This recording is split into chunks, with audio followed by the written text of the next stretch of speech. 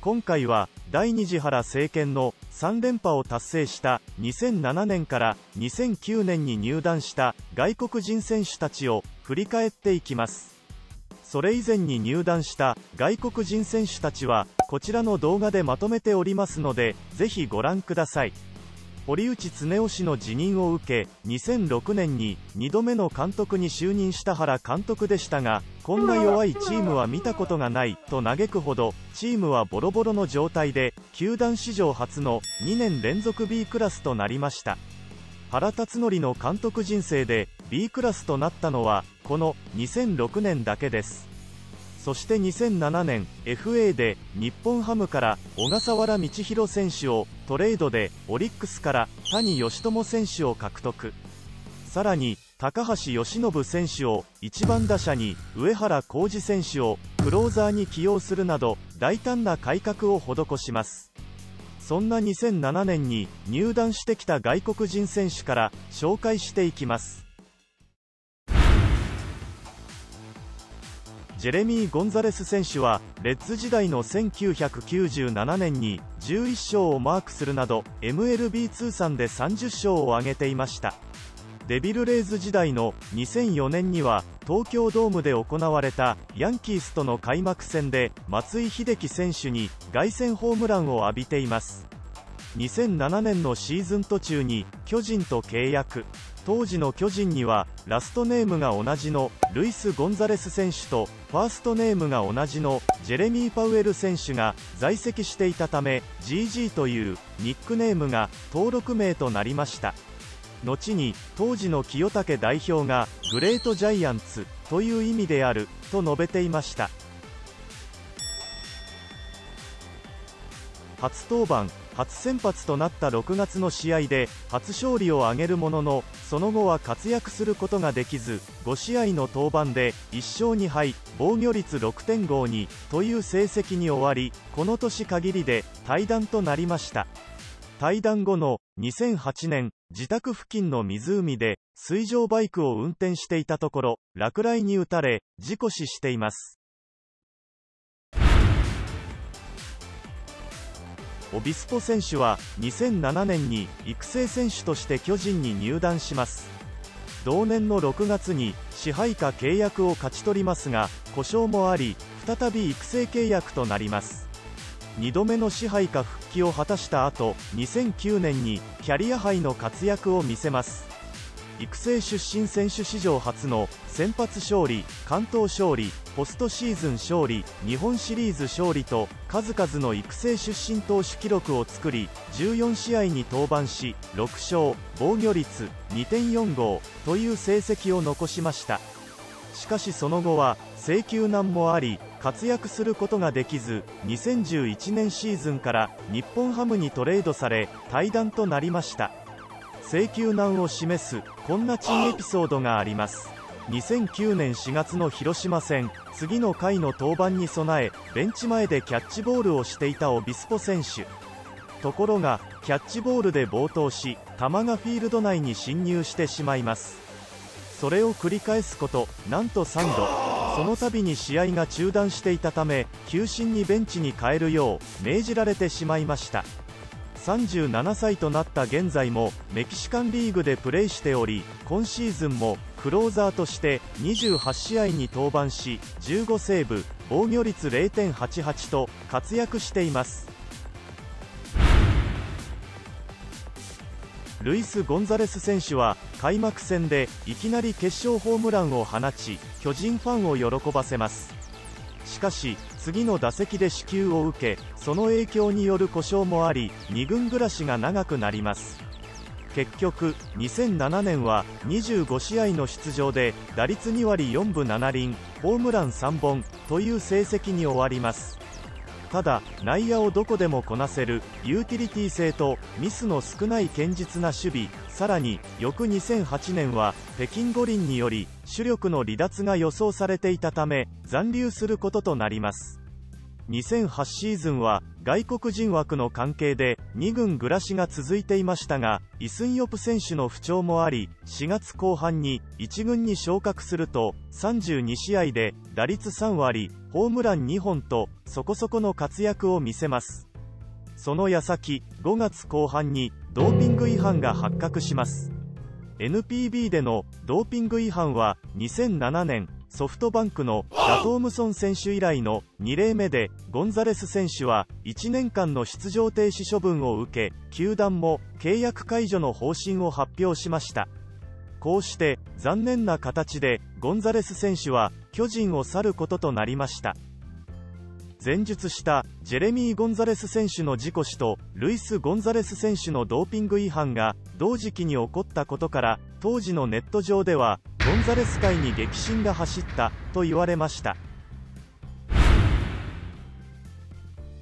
ホリンズ選手は珍しい左投げ右打ちのプレイヤーで MLB で2年連続2桁ホームランの実績を引っ提げ巨人に入団しました。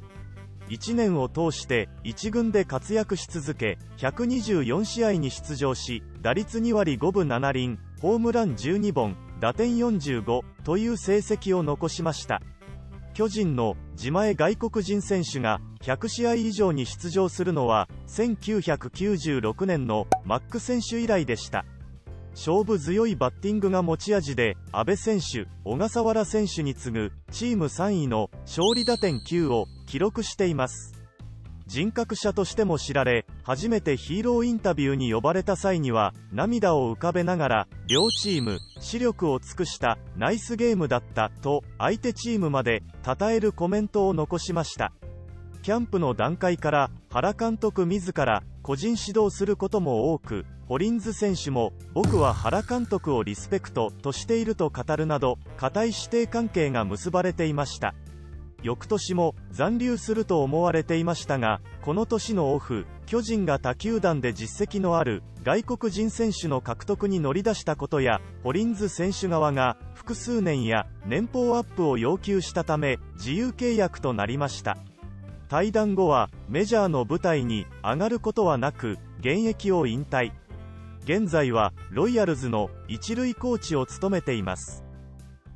2年連続 B クラスから見事優勝を果たした2007年の巨人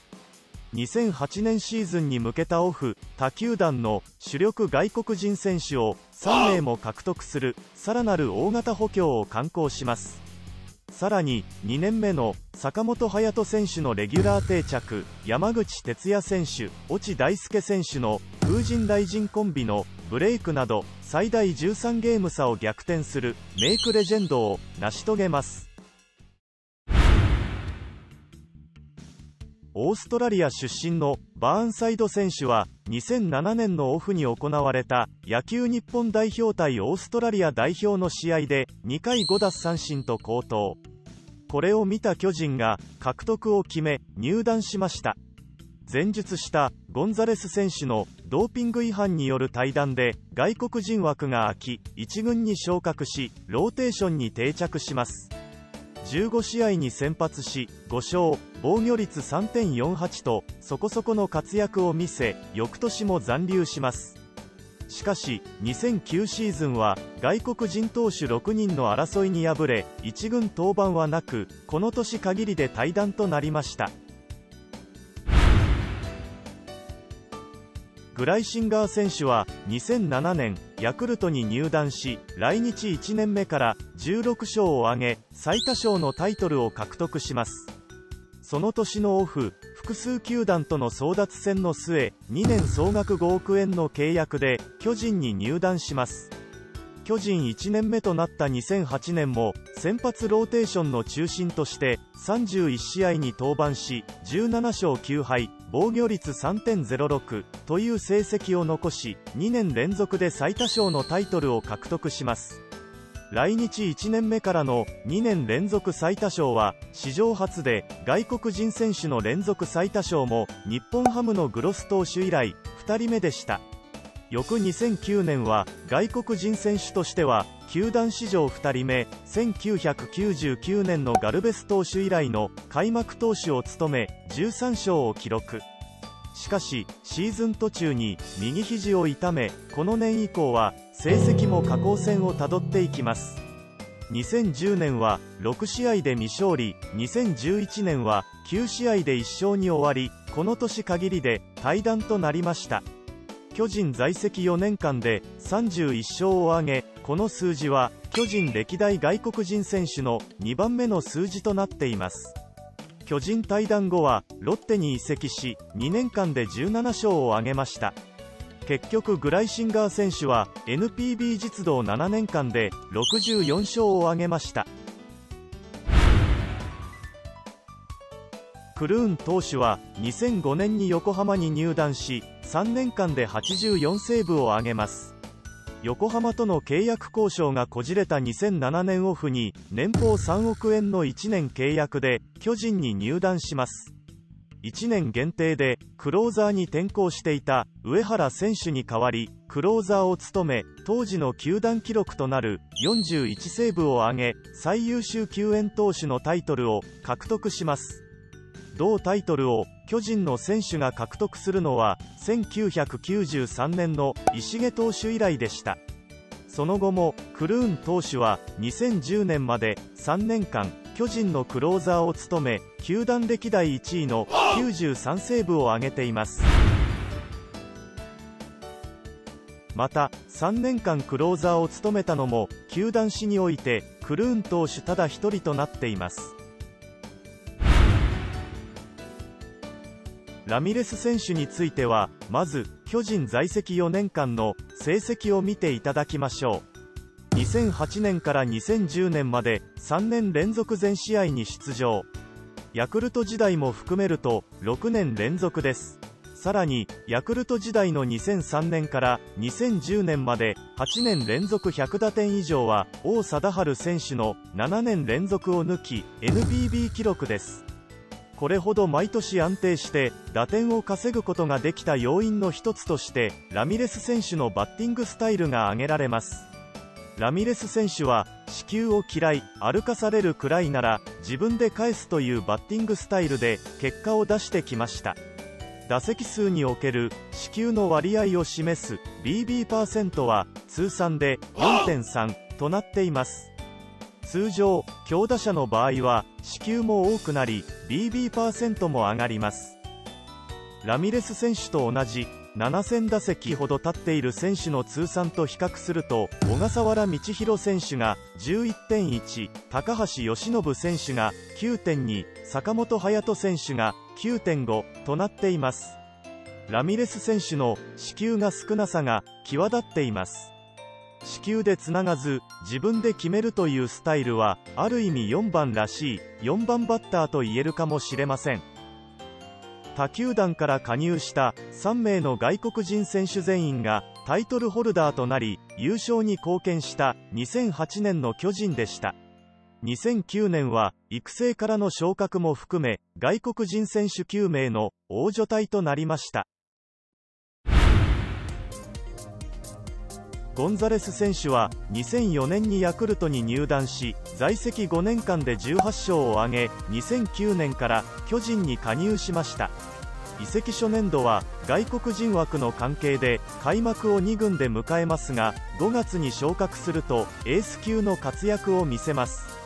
23試合の先発で15勝2敗防御率2.11という成績を残し最高勝率のタイトルも獲得しました。翌2010年は一転して不調に陥り25試合の登板で5勝13敗防御率5.29という成績に終わります。その後も2012年まで在籍しますが故障もあり移籍初年度のような活躍を見せることはなく退団となりました。巨人在籍4年間で球団歴代外国人選手5位タイとなる27勝を挙げました。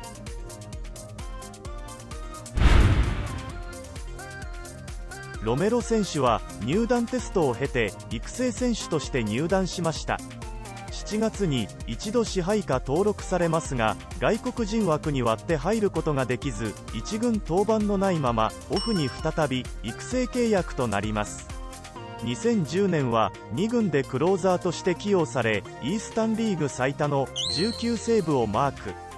支配下に返り咲き初の1軍登板も果たします。